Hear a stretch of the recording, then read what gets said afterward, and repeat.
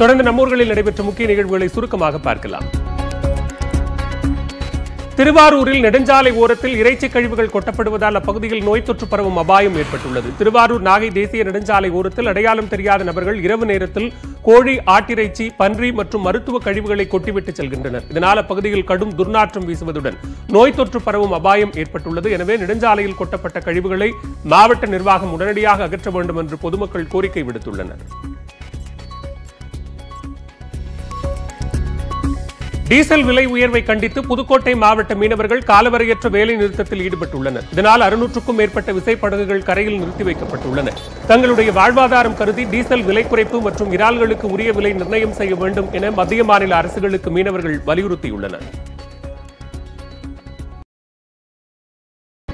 விவசாய நிலத்திற்கு மின் இணைப்பு வழங்க இருபதாயிரம் ரூபாய் லஞ்சம் வாங்கிய பெரம்பலூர் மின்வாரிய அலுவலக வணிக ஆய்வாளரை லஞ்ச ஒழிப்புத்துறையினர் கைது செய்தனர்.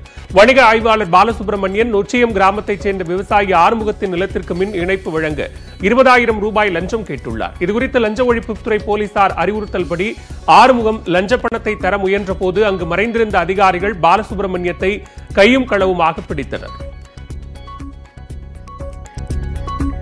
கோவை மருதுமலை ஐஓபி காலனி குடியிருப்பு பகுதியில் வனத்தில் இருந்து வந்த யானைகள் உலா வருவது அதிகரித்துள்ளது. பொதுமக்களுக்கு இடையூறு செய்யாமல் நீர் தேடி வரும் இந்த யானைகள் அங்குள்ள நீர் தொட்டிகளில் தண்ணீரை குடித்துவிட்டு சிறிது நேரம் உலா வந்த பின்னர் அங்கிருந்து செல்கின்றன.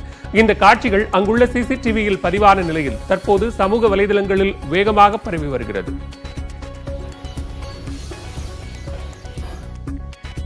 நாற்பது வயதுக்கு மேற்பட்ட சித்த மருத்துவர்கள் பணிக்கு வர வேண்டாம் என்று அறிவுறுத்தப்பட்டுள்ளதால் திருவள்ளூர் மாவட்டத்தில் கொரோனாவுக்கு சிகிச்சை அளிக்கும் பணியில் சுணக்கம் ஏற்பட்டுள்ளது. கொரோனா சிறப்பு வார்டில் நாற்பது வயதுக்கு மேற்பட்ட சித்த மருத்துவர்கள் சிகிச்சை அளிக்க வர வேண்டாம் என அரசாணை பிறப்பிக்கப்பட்டுள்ளது.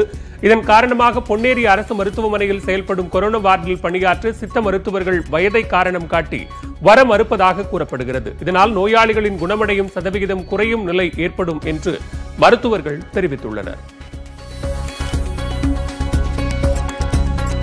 பேருந்துகளை ஏழு நிமிடங்களில் சுத்தனம் செய்து கிருமி நாசினி மருந்தை தெளிக்கும் வகையில் நவீன ரோபோவை தஞ்சை மாவட்ட பொறியியல் கல்லூரி மாணவர்கள் கண்டுபிடித்துள்ளனர்.